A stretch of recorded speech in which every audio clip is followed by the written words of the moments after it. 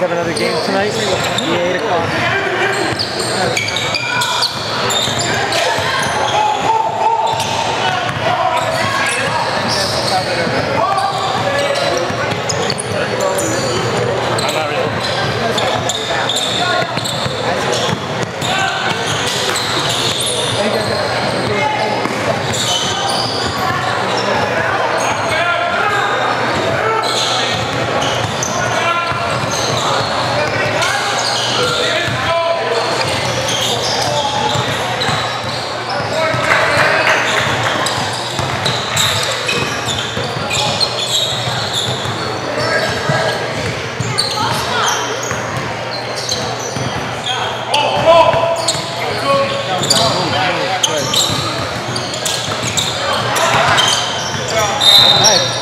know what?